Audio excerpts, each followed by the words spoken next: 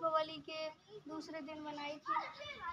और आज इसको दो साल हो गए हैं बनाए हुए मध्य प्रदेश की एक ऐसी बच्ची जिसकी उम्र अभी सिर्फ़ सत्रह साल है, उसको ऐसा हुनर आता है कि ना ही उसने कहीं से सीखा है और ना ही उसने ये हुनर कहीं से पाया है। सिर्फ़ ये गॉड गिफ्ट है, उसको अपने मन से धीरे धीरे ये बनाना आ गया है। वो किसी भी प्रकार की चित्र बना लेती है। यहाँ तक कि उसको यह भी कहा जाता है कि वो एक चित्रकला कर लेती है।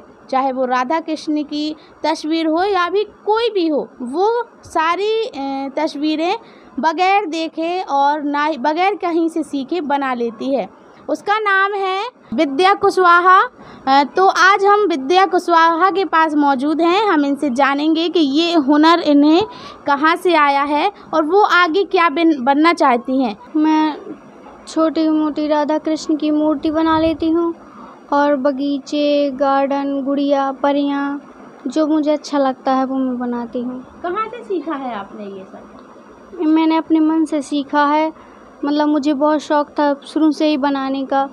तो मैं जब भी मुझे टाइम मिलता तो मैं बनाती रहती थी। इसलिए मुझे बहुत शौक़ था तो मैं बनाती हूँ। इसका सामान कहाँ से लाती थी जो बनाने का? वैसे तो मैं कॉपी किताबों में बनाती थी पेंसिल से और कलरों से कलर पेंसिल से।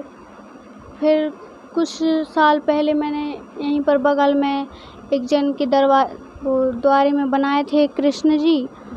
तो उनमें भी थोड़े कलर मतलब घर में जो पेंटिंग के लिए आते हैं कलर घर की पुताई के लिए उनसे बनाए थे। और फिर मैंने अपने द्वारे में बनाए।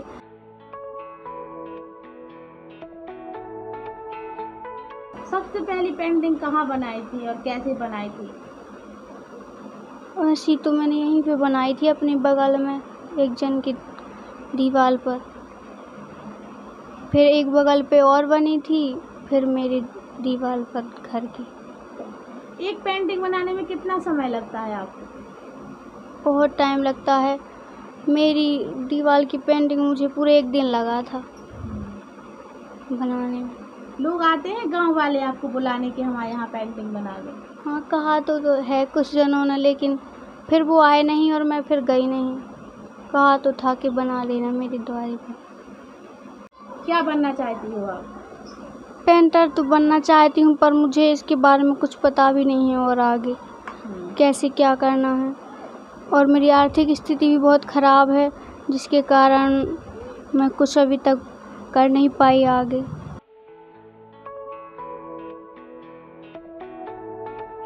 आगे पढ़ाई क्यों नहीं की? मैंने बारहवीं कक्षा तक पढ़ा है और फिर पैसे नहीं होने के कारण हम दो लोग हैं मतलब बड़े पापा की लड़की है तो उनको दो साथ में ही पढ़ते हैं दोनों। तो उसके लिए भी पैसे लगते इसलिए दोनों को मिला के बहुत पैसे लगते इसलिए नहीं पढ़ा। किस तरह का सपना है आपका आगे बढ़ने का? क्या मदद चाहिए आपको शासन द्वारा? यही मदद चाहिए कि मैं आगे चलकर कुछ बन सकूँ।